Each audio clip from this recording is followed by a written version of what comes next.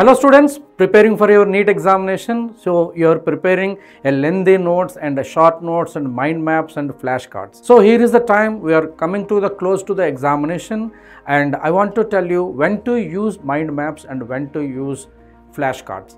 So the mind maps are really helpful when a complex topic you are studying, you want to know the relation between the topics and you want to have one short revision, then you can go ahead with the mind maps like SN1, SN2, elimination 1, elimination 2, graphs in chemical kinetics and all the reactions of the complex com D and F block elements and P block elements and hybridization rules and VSEPR theory chart and all. When it comes to the flashcards, if you want to go in a one shot revision and a quick revision, high yield marks getting and the last minute revision, you can use flashcards like neighborhood reactions.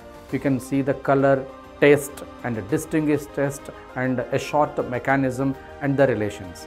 So take these mnemonics like the flashcards and uh, mind maps are completely different and you can make by yourself by taking the various sources and you can do the NEET examination preparation well. Thank you.